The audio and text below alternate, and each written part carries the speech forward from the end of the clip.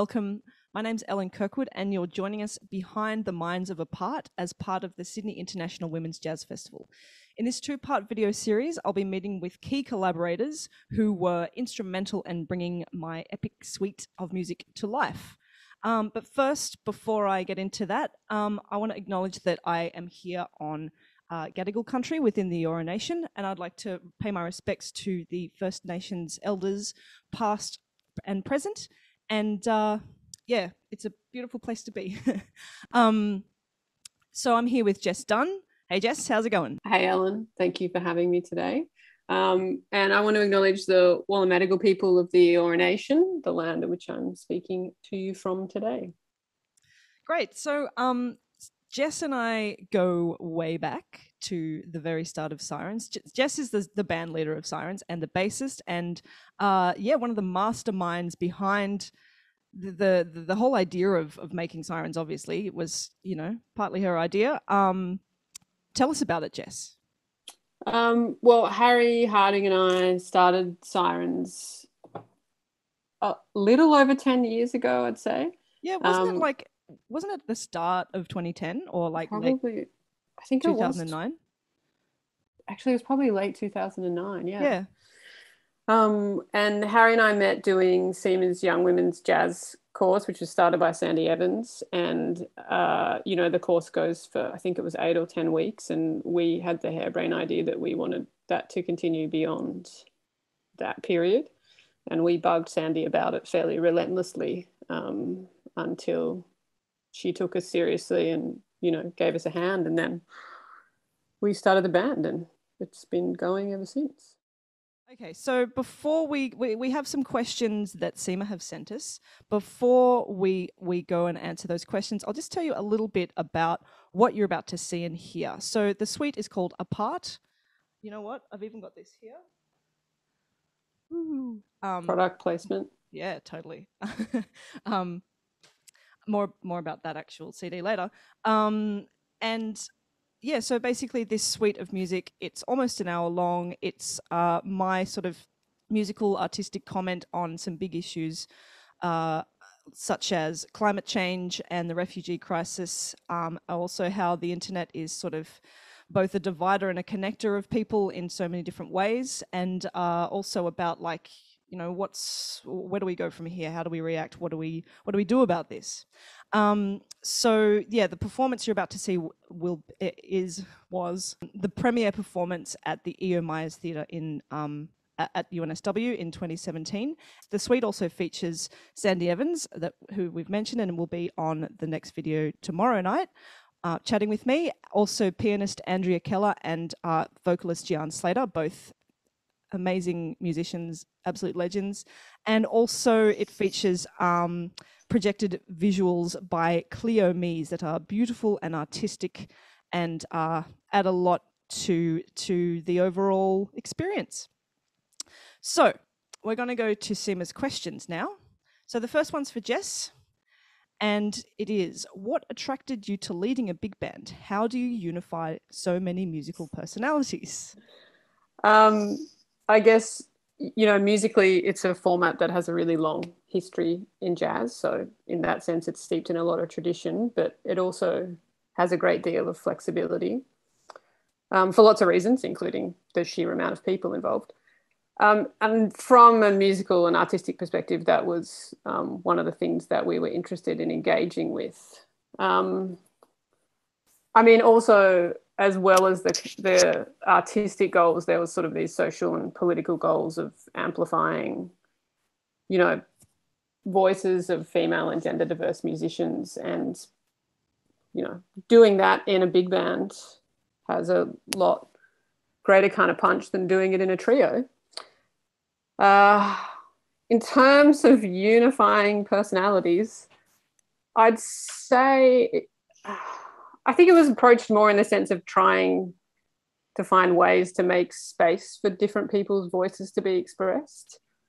And also, what I think is kind of those shared social goals that we talked about. Um, yeah, I don't know if we were successful at every turn, every sort of turn, but that's what we were aiming for. Yeah, I mean, I think certainly, um, you know, remembering remembering back to some of our early gigs and people sort of expecting maybe a little bit of a gimmick, but sort of going like, oh, actually, like it's not just another big band. Like, you know, Sirens has has its own really interesting, really vibrant, exciting sound as well. And I think, yeah, we we quite quickly got a pretty good following, right? Yeah, well, yeah, we were really lucky in that front actually, and I think it was always about not just this kind of sea of people, but finding ways for those, you know, the individual voices within that sea of people to kind of shape this unique sort of sound and this unique approach. Okay, so next question is for me. It says, "What were the biggest triumphs and struggles of the recording process?" So, yeah, the recording. I love that pro- you're asking yourself. Things, Hi, me. SIMA is asking me. Yeah. Ellen, what were the biggest triumphs and struggles of the recording process? Oh, that's that that works a bit better, doesn't it? so the recording. So a year after the the um the premiere that you're about to see, we recorded this. Ooh, and you can buy it from Earshift Records. Um, so we recorded it at 301 Studios. Uh, Bob Scott, um, assisted by Owen Butcher, recorded it, and uh, Bob also edited it and mixed it and mastered it, and I was there and sort of part of the producing process as well. Um, I think the the the the struggles, I suppose, were all kind of leading up to the like. It's it's a lot to organize. It is mainly. I think that the biggest thing was that, you know, with such a huge band, and Jess knows all about this. With such a huge band, it's just, uh, you know, timetabling rehearsals, um, making sure like you know, everyone gets all the information, answering people's questions, timetabling the actual recording because there were some people who couldn't be there all the, the whole, know, the entire time. Um, all that kind of stuff that uh, yeah, it's logistically quite difficult and also financially quite expensive. Um, so I feel like that was sort of the most stressful part. The actual recording process itself was um, was actually quite breezy. Um, so Bob got us all in the one room as if it was a performance. We didn't use headphones or anything. Um, we just were all in, in the one room. There was a little bit of separation between um, the horn players and the, the rhythm section. So, you know, because there's this uh, spilling of sound between different microphones. But, you know, because Bob is so excellent at what he does and he does a lot of live recordings, a lot of large ensemble recordings of various kinds, um, he's an expert at that and he was able to, you know, you can still. Uh, you can still edit that if if need be, um, and we also, whether or not this was um, a great idea or not, I was thinking the other day we didn't actually go in and re-listen to the takes.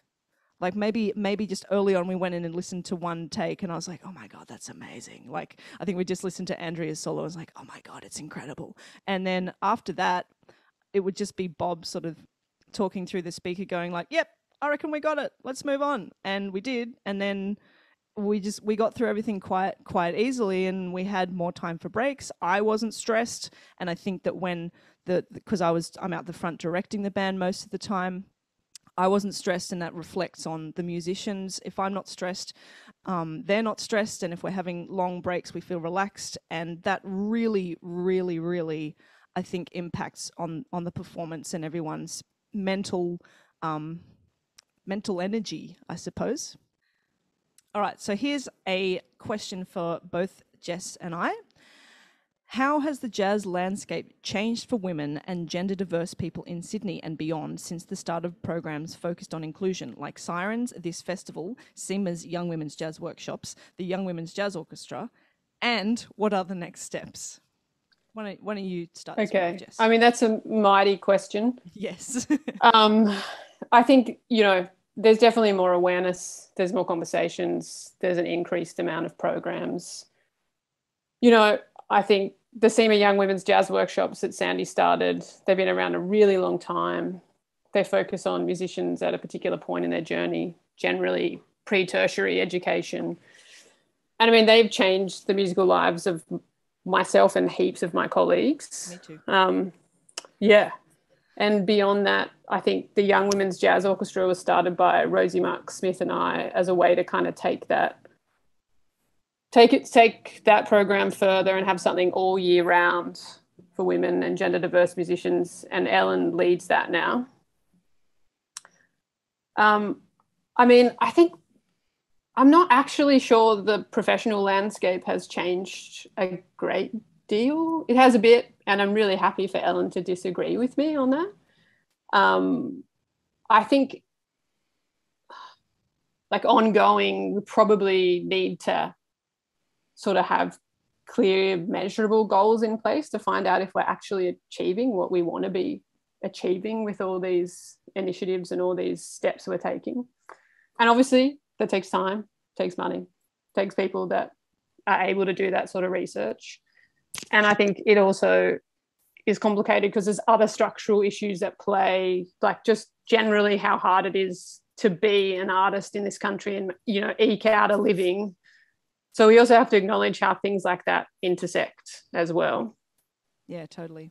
Yeah, I mean, you're right. Like, there's, I think there's still a long way to go. I, from my perspective, I feel like it's improving, but slowly. Like, um, yeah, like, definitely the fact that it's, you know, if when I compare right now and what I see and what I hear people talking about to, to 10 years ago when Siren started, I think that it's something that is much further to the front of people's minds. Um, and people are a lot more likely to notice, like, hey, wait a minute, this band is just dudes. Um, yeah. um, I like you know those those just dudes bands. There's still plenty of them, but I think people are a lot more likely to go, hmm. And other types of diversity as well, like, hmm, this band is all white people. Um, so yeah, uh, that's all to the good, I think. But yeah, there's still a long way to go. And I also think that something further that we need to do is, you know, balance this thing between, you know, engaging, you know, people's voices that need to be amplified. So engaging, you know, women and gender diverse musicians' voices because there is nothing like lived experience. We need to ask people what they need and if these initiatives are serving them. But I also think we need to balance that with some of that labor being done by like organizations and institutions and even people that feel really represented in the scene already and think about what they can do. I'll ask you this question, Ellen, so it's potentially a little less awkward for you. okay, what are you most proud of in these movements, and what exciting or interesting moment should the audience listen out for? Um, okay, so uh, thinking of a part one. So I'll just tell a, little bit of a part one is is about the internet. It's about it's the, the, the full title is the internet wonder and malignance. So the first bit is like, wow, isn't it amazing? Isn't it like we can connect and the, like particularly in the early days of the internet was just like, oh my god, this is going to change everything, and it did change everything, but not necessarily always in a great way. Um, so like it's pretty awesome that um, you know we've had the internet through the the, the um, and like Zoom and everything through through COVID nineteen, but uh, also we've seen how much misinformation can be spread and how much damage can be done via the internet. So I guess that um, the, the, the first part of a part is a, about that sort of thing. And uh, I think my my favorite moment in it is when it gets dark. It's sort of like all kind of pretty and floaty for a while, and then it sort of gets to this sort of like demented kind of video game kind of um, kind of vibe. That's my um, favorite part too. nice. Um, and then in a part two, so a part two is um, about the refugee crisis. Um, I think the title, yes, it's a part two on the refugee crisis. So, um, yeah, in this one, I the, it sort of goes through a few sections. In the first section, I'm sort of trying to imagine what it might be like to be a refugee. Sort of what what events, what happenings would maybe lead me to feel like I had to flee my country, feel in danger, have to protect my, my family, things like that. So I'm, I'm trying to sort of um, imagine that kind of thing and, and, a, and a growing sense of um, anxiety and, and fear and danger. And then the second bit um, is quite sort of oh, there's a there's an amazing um, um, Andrea does an amazing solo in between that part and the next. Um, and uh, then the second bit is uh, kind of it's full of rage um, because I um, yeah I, I, I went out and uh, saw a few documentaries about the refugee crisis and particularly Australia's treatment of, of refugees. And it made me really mad. So that's what that's about. And then the last section is sort of like a kind of peaceful, calm com- comment on sort of the like the quiet strength of a lot of of, of, of, of people and, and it's kind of a moment of, of hope. So the solos, Gian has a sort of atmospheric um, opening thing. She's got some beautiful loops and some uh, textural vocal stuff, which is very cool at the very, very beginning of a part one. Uh, then uh, Andrea's solo, and then in a part two, Gian's got another solo at the start. Uh, beautiful um, lyrical vibes. And then Andrea's got like a cadenza on her own solo. And then Sandy goes a bit crazy on um, soprano sax. Okay, so that's all for the questions. Um, thanks so much for joining me, Jess. Thanks, Ellen. And uh, hope everyone enjoys the first half of the Apart Suite. And hope you come back tomorrow and watch the second half, which will be preceded by a chat with me and Sandy. Bye.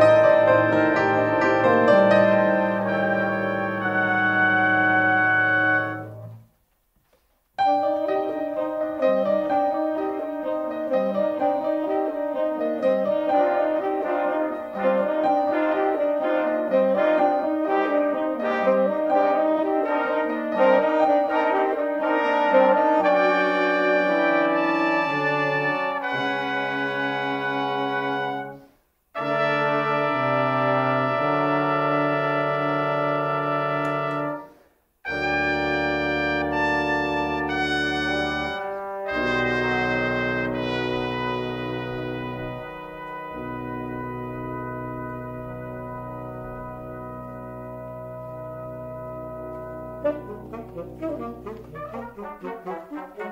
you.